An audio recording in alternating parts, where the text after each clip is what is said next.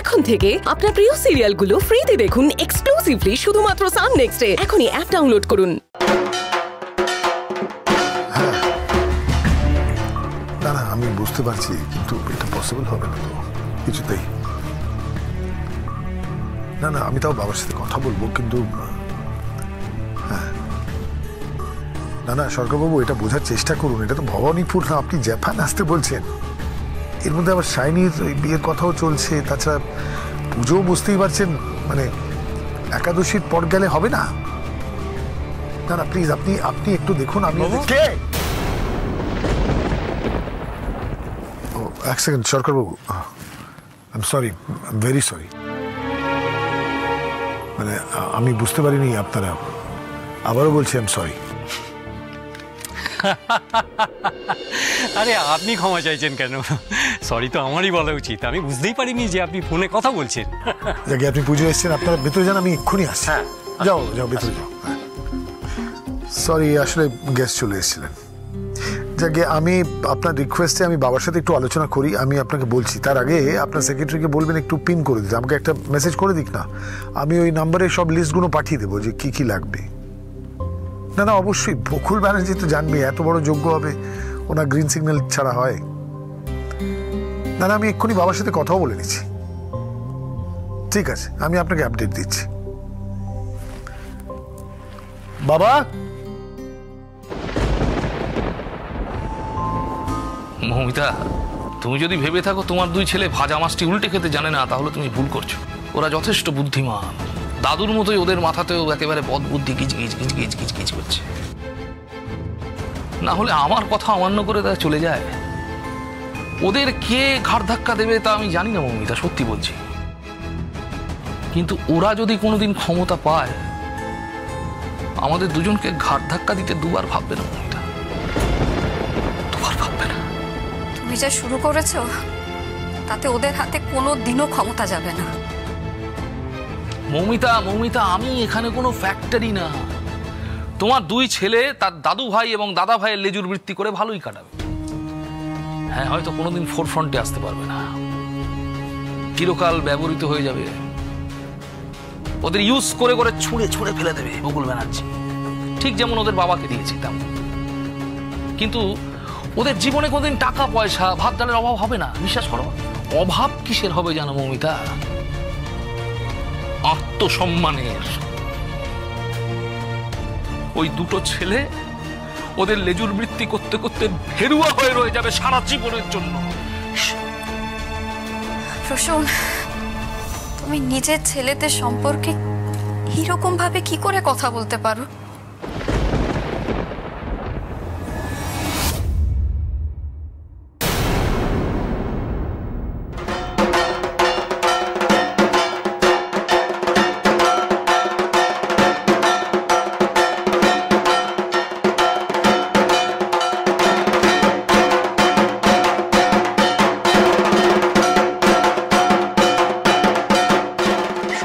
ষষ্ঠী বকুল বাবু শুভ ষষ্ঠী। শুভ ষষ্ঠী। আরে Joy wish you happy Puja. আপনারা যান না? দর্শন করুন। হ্যাঁ হ্যাঁ যান। হ্যাঁ করছি করছি করছি। আহা ডেকোরেশন তো দারুণ। প্যান্ডেলও দারুণ হয়েছে। বারোয়ারি পুজো তো আর নেই। তোমাদের হাতে ছোঁয়ায় এই যেন একেবারে তোমাদের পারিবারিক পুজো হয়ে উঠেছে।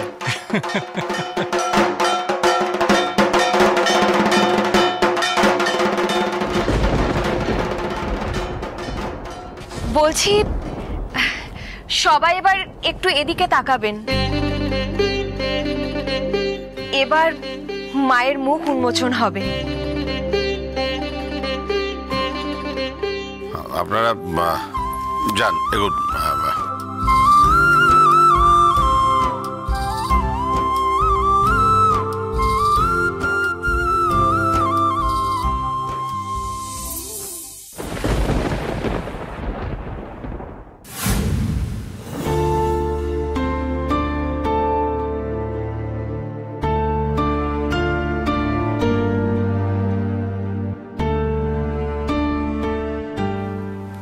মরে গেছে মা। আমার সব মনে আছে।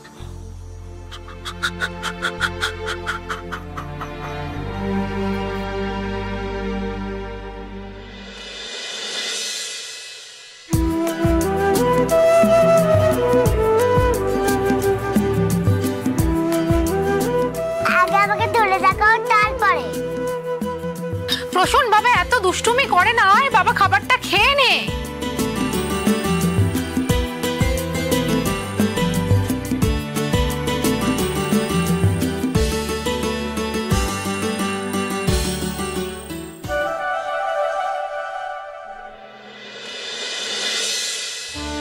কেন জানলে তুমি বললে তো আমাকে জিততে দেবে? তাই নাকি রে দুষ্টু ছেলে? আমাকে তো আমার তো কাছে করতে লাগছে। ঠিক আছে। আমি তোকে জিততে দেবো আর আমি তোকে একদমই ধরবো না। কিন্তু তার আগে এই সব ভাতটা শেষ করতে হবে। পারবি তো? পারব। আচ্ছা।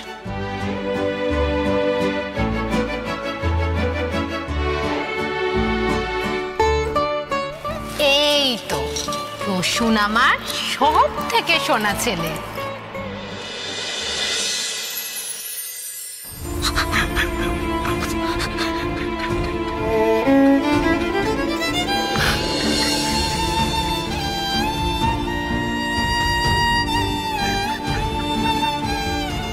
কিরে? প্রসূন? কাঁদছিস কেন? আয় ভেতরে আয়।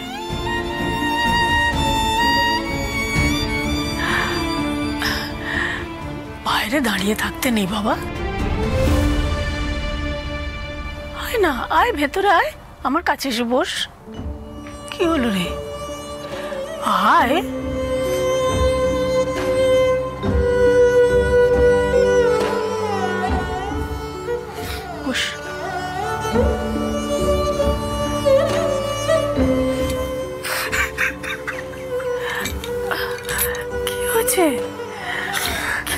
বাবা।